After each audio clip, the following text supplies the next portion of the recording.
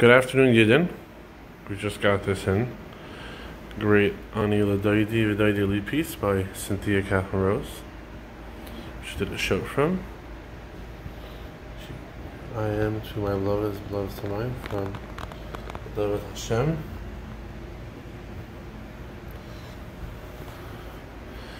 Um, great piece, great colors, great, great vibrancy. And uh, yeah, she's actually being used for staging for Two Trees Management for Domino Park. If you, any of you guys in Brooklyn ever been to the Dumbo Park right Brooklyn Bridge, those big, most expensive uh, buildings in entire Brooklyn, um, they're using her paintings for staging. So we are happy to carry such acclaimed, I think that's the right word, artist. Come check it out.